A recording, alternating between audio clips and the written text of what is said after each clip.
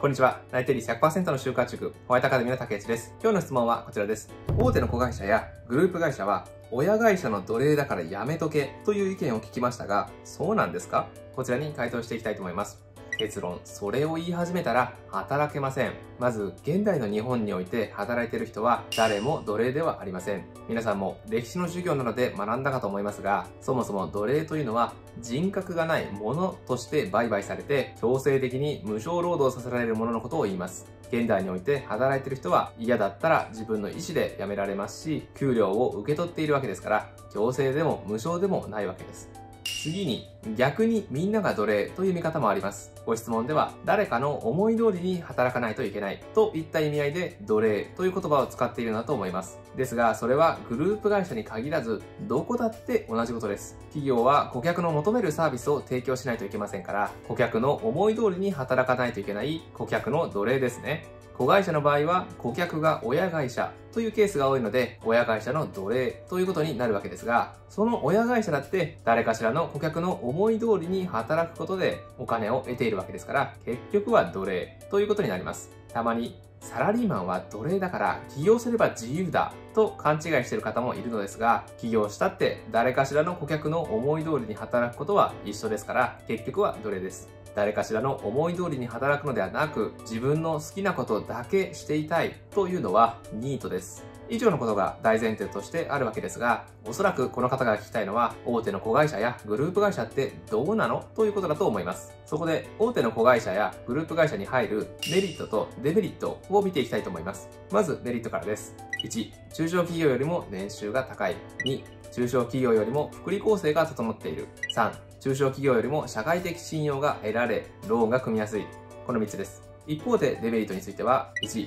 親会社よりも年収が低い。2、親会社よりも福利厚生が弱い。3、親会社の下請け的な仕事が多く、大きな仕事ができない。4、社長や役員クラスなどは、親会社からの出向者がつくので、出世に上限があることが多い。以上です。よく会社ごと売却される可能性があることをデメリットに挙げる人がいます。親会社が事業から撤退したり、事業から切り離したりすると、別の会社の子会社になったり、独立系の会社になって、福利厚生が一気に薄くなったりという可能性を言っているのだと思います。ただ、よく考えていただきたいんですが、普通の中小企業であれば、会社自体がなくなることもより日常的にあります。売却される先があって、仕事が続けられるだけ、まだマシであると言えるでしょう。以上のメリット、デメリットを比較すればわかると思うんですが、基本的には年収でも、福利厚生でも、仕事のやりがいでも、すべてのものが中小企業より大手の子会社、グループ会社、そしてそれより大手企業となります。ですので、大手に行けるのであれば、当然行ったら良いと思います。